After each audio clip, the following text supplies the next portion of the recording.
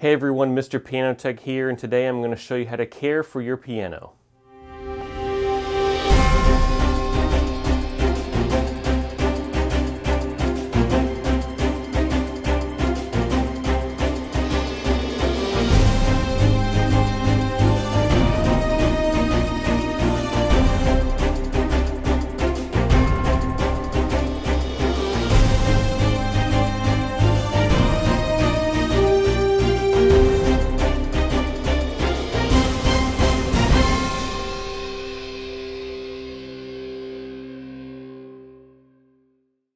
Okay, so today I'm going to show you how to care for your piano.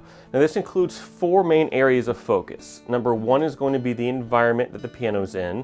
Number two is going to be the finish and key care. Number three will be regular maintenance. And number four, possibly the most important area of focus, I'm going to keep a big secret until the end of the video.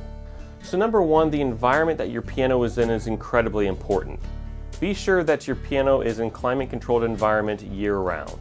The number one environmental factor that can affect your piano's performance, including whether or not it stays in tune real well and how well it plays, is going to be the moisture levels. Now here in Florida, we end up with a little bit too much moisture. If you're out west, maybe you end up with a little too dry conditions. So it's important that you can control that. The number one way to control that is with the humidity control system. Now, some brands will be affected by humidity more than others, and some pianos, just the way that they're designed, will be affected more than others. So the number one way to tell if you're having an issue with this is if there's too much moisture, you're going to have uh, some sticky keys. The piano is going to start going sharp in pitch, which means it's actually absorbing a little bit too much moisture and is expanding out. It's pushing up on the soundboard, pushing up on the bridge, and pushing up on the strings, and it's going to raise the overall pitch of the piano over time.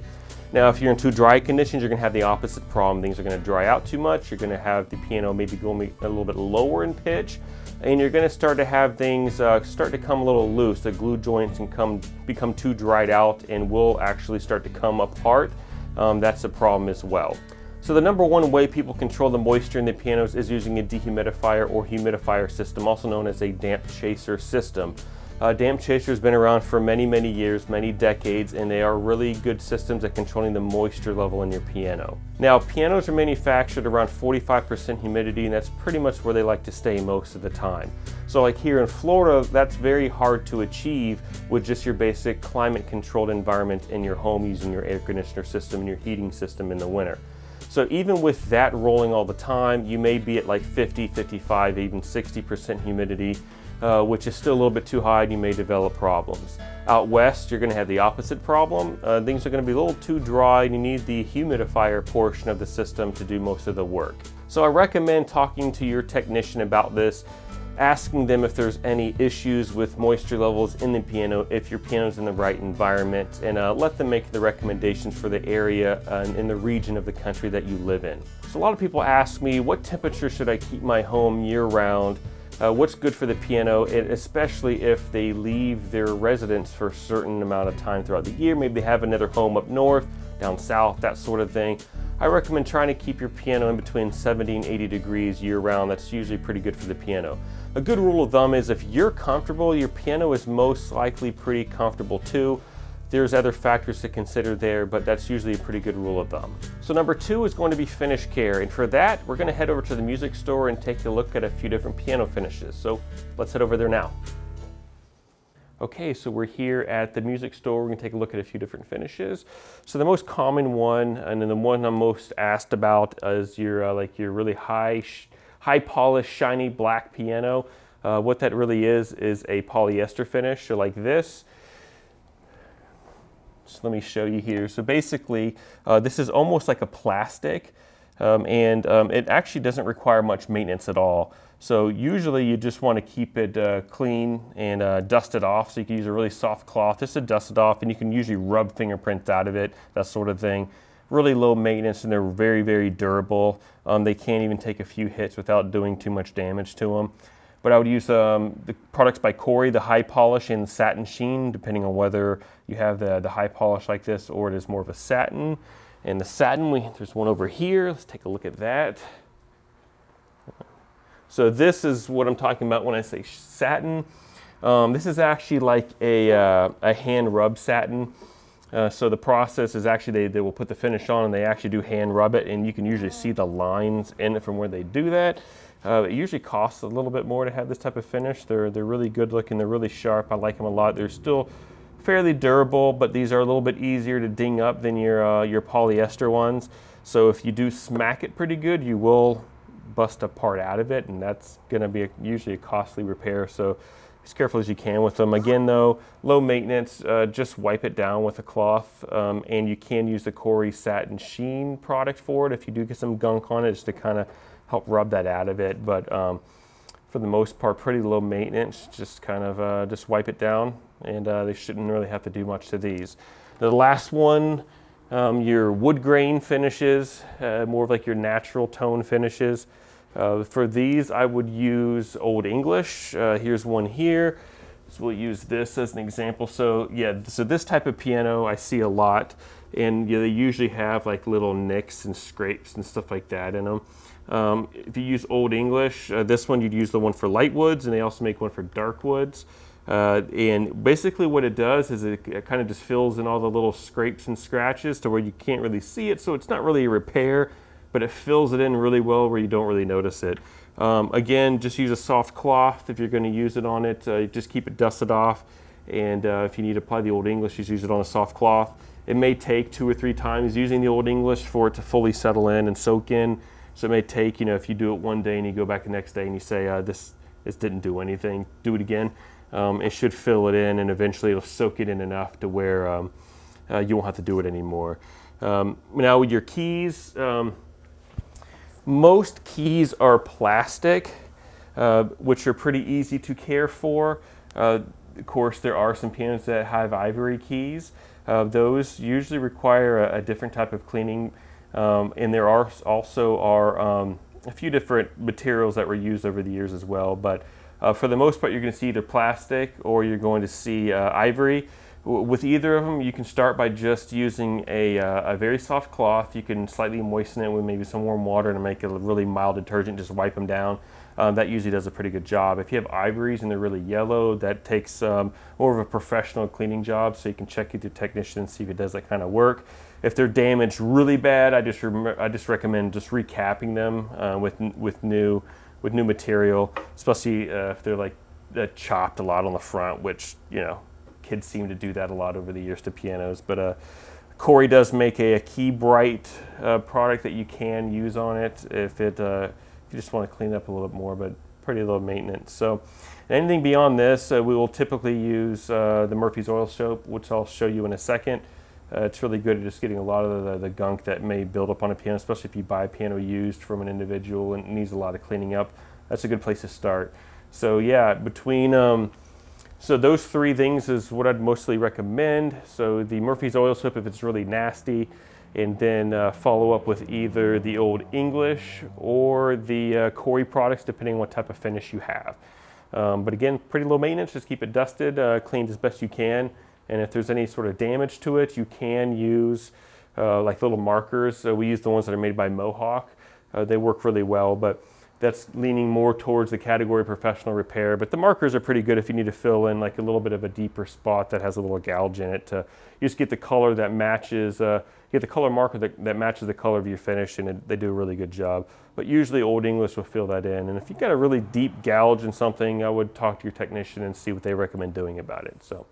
Um, let's go ahead and take a look at the different products I talked about.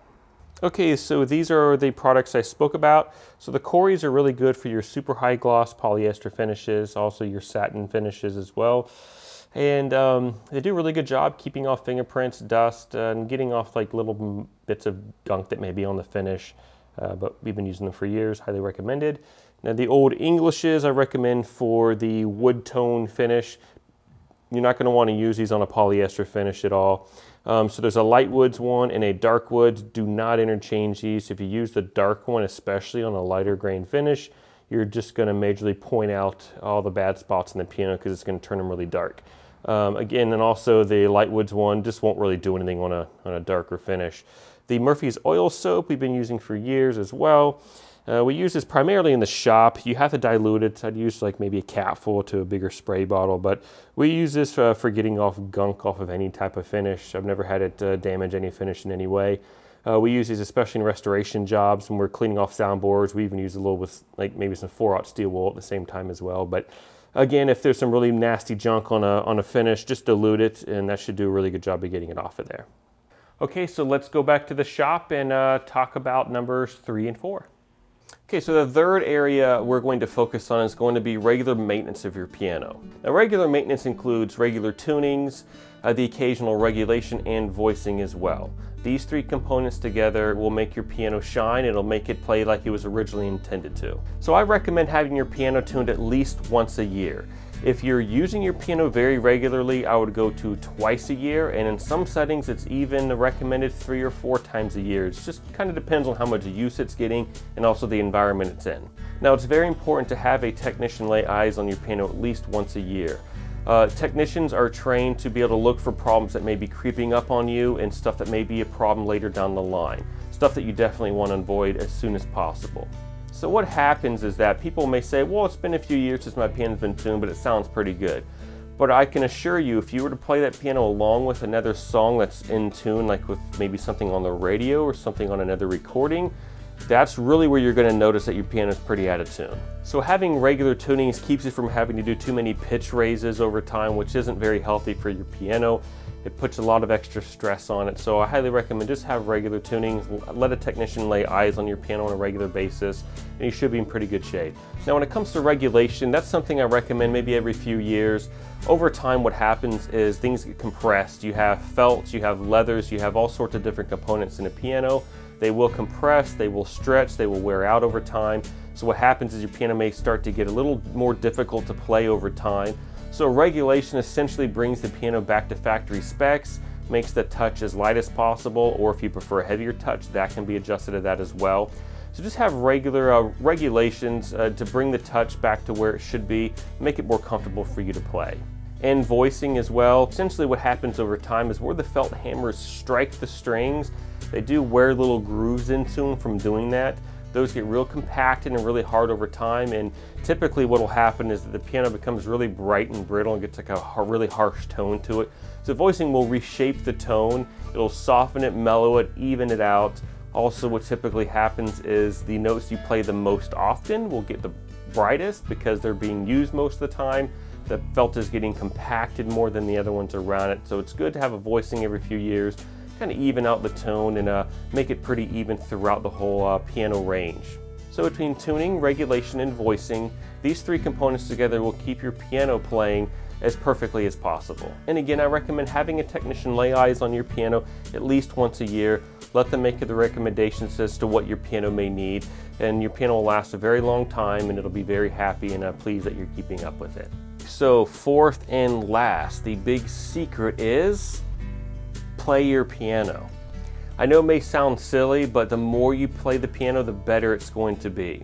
Pianos aren't designed to sit idly by. There's a lot of components in them that need to move on a regular basis. Besides, they're just designed to be played and designed to be enjoyed.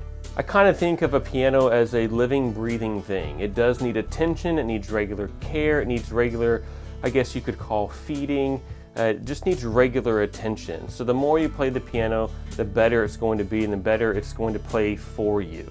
So to recap, number one, the environment. Number two, the finish care.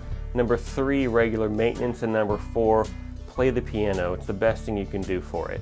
So I hope that answers maybe a few questions you had about caring for your piano. If you have any further questions, feel free to reach out to us. Comments, questions, snide remarks, leave them below. And as always, stay tuned.